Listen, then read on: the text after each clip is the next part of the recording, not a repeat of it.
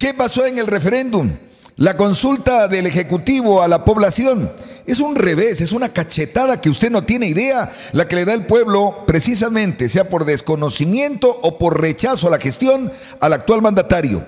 Prácticamente es un no en todas las preguntas. Y arrancamos con la primera pregunta. Mire usted, este es el resultado.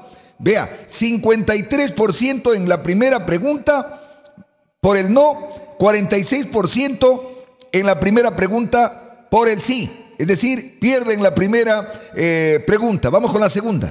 Segunda pregunta, ¿no? En este referéndum planteado por el Ejecutivo, 60.1%, esto es por el no, mientras que por el sí, un 39.99%. En la tercera pregunta, el no gana con un 56.9%, el sí pierde con un 43.91%.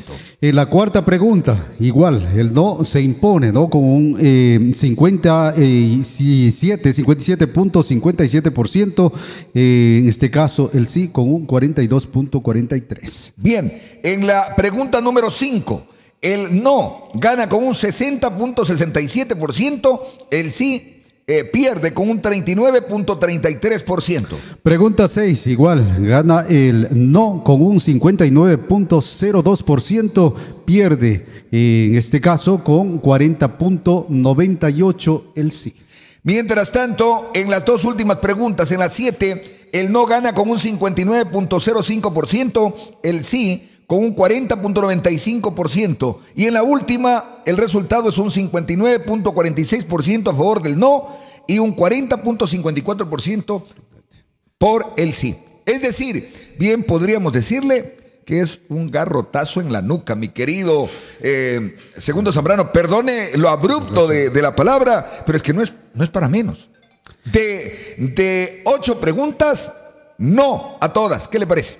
Definitivo, no. Aquí hay que tomar en cuenta qué fue lo que pasó. Si de pronto el acercamiento hacia la ciudadanía, la información, porque en realidad muchos ciudadanos eh, tenían un desconocimiento bárbaro en relación a esto que se planteaba por parte del Ejecutivo y se manifestaba, ¿no? El propio presidente de la República en último momento realizando un periplo a nivel país, eh, dando a conocer sobre este referéndum planteado, pero al parecer de pronto es el desconocimiento o quizás es el hecho, como se lo manifestaba, un claro rechazo a la parte administrativa de la actual Indudablemente, es un voto rechazo, píntelo por donde lo pinte y la desinformación. Bien, ¿qué pasó en cuanto se refiere al Consejo de Participación Ciudadana eh, para los eh, integrantes nacionales y extranjeros?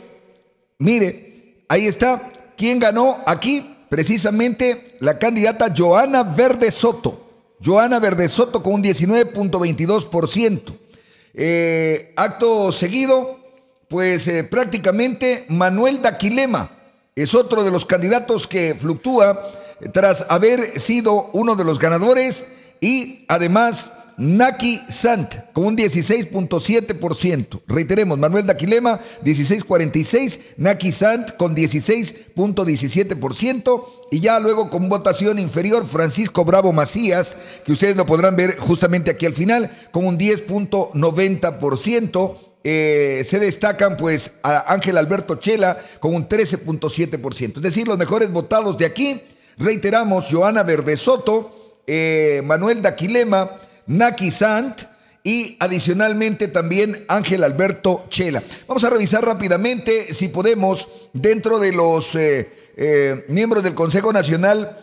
Eh, digamos, del Consejo de Participación Ciudadana, esto es en, nacionalidades y extranjeros, lo que acabamos de ver. Vamos a ver la votación para hombres, en cambio, ¿no? Para hombres, mis queridos amigos, los ganadores aquí se destacan. Mire usted, Augusto Verduga. No sé si está fácil para usted mirar allá, segundo. Sí, por supuesto, podemos revisar acá el porcentaje, incluso de acuerdo a lo que se da a conocer, ¿no? 19, eh, 16, perdón, punto 19% en cuanto a los votos alcanzados en el tablero. Allen Berbera en la segunda ubicación con 9.02%. ¿Sabe quién es Allen Berbera? Lo ubicamos, ¿no? Estuvo por acá también. Claro, es el eh, abogado del exmandatario Rafael supuesto, Correa. El abogado ¿No es cierto? También podemos mirar acá Andrés Fantoni con 8.39%, son los más destacados en la votación.